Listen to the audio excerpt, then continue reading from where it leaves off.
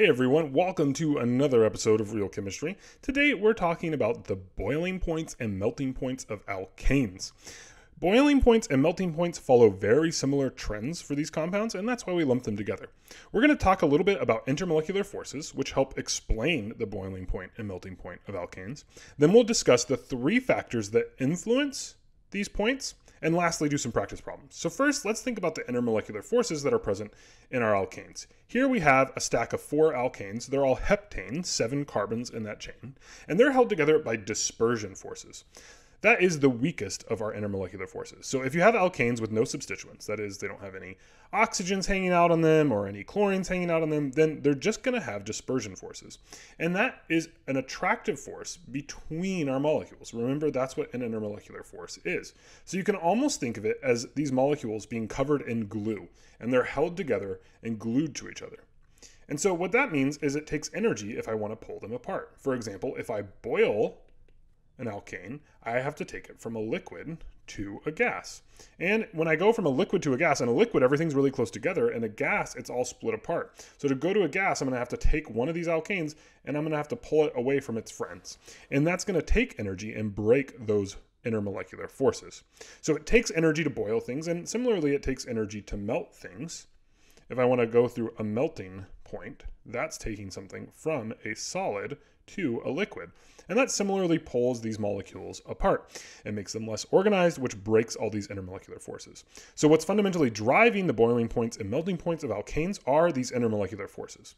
One really important point to think about right at the beginning is that as we have larger molecules, we tend to have larger dispersion forces. So the more carbons and hydrogens you have, the more spots there are basically where they can be glued together. The stronger those dispersion forces will be. And what that means is that if we take a look at different size alkanes, we'll see there's a trend for our boiling points. Here we have methane, and methane has a boiling point of a minus 162 degrees Celsius. So room temperature is about 20 degrees Celsius. This means if you come across methane, which is natural gas, it's already boiled at room temperature, right? So it, you basically would see it in everyday life as a gas.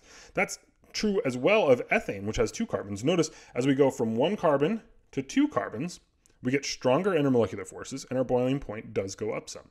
And it goes up even further as we go from ethane to pentane. Pentane has five carbons and now a boiling point of 36 degrees Celsius. That makes it a liquid at room temperature. At 20 degrees Celsius, it would be a liquid because it hasn't yet boiled.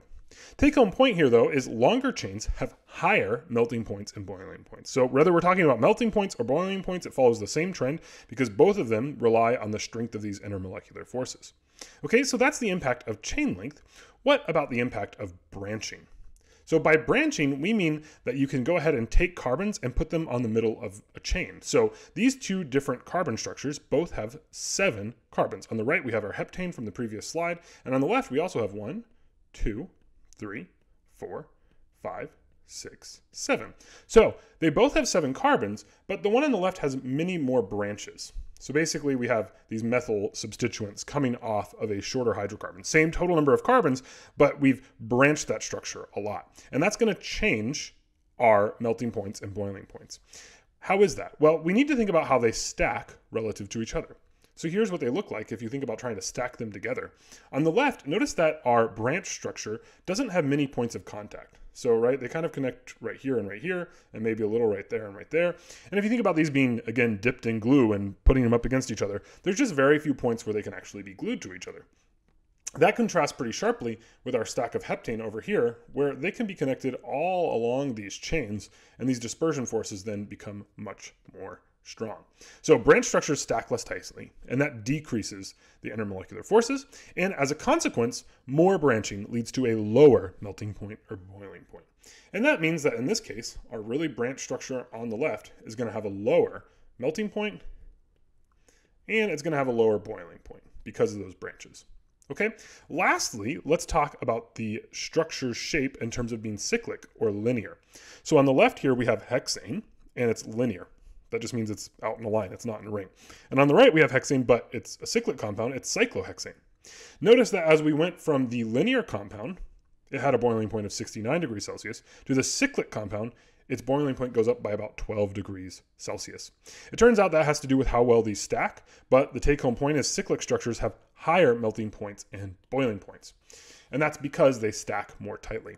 It turns out that cyclic structures can't change their shapes and vary their shapes as much as the linear structures, and that allows them to form these nice tight stacks that are hard to pull apart and hence hard to melt or boil. Okay, to summarize, here are the three different factors that influence the boiling point and melting point of alkanes. Long chains give you higher melting points and boiling points. More branching gives you lower melting point and boiling points. And cyclic structures lead to higher melting points and boiling points, assuming that all those other factors are the same. These are all just rules of thumb. Weird things do occasionally come up if you go out and look at real molecules, but these are helpful guidelines for us to think about the melting point and boiling point of these compounds. Let's put these to the use and practice a few problems. This one says for each set of options, choose the compound with the highest melting point. So up first, we have methane, hexane, or decane.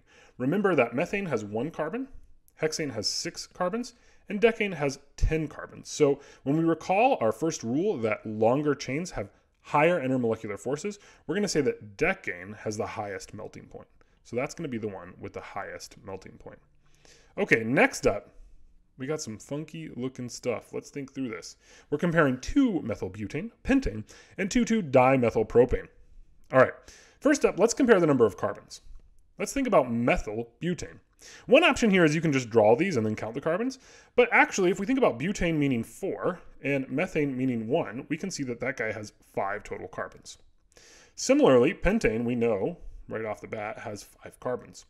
Lastly, we have 2,2-dimethylpropane. Propane Propane means 3 carbons, and methyl means 1, but because it's di, that means there's two different methyl groups, each contributing one carbon, for a total of five carbons. So that means these actually tie in terms of number of carbons.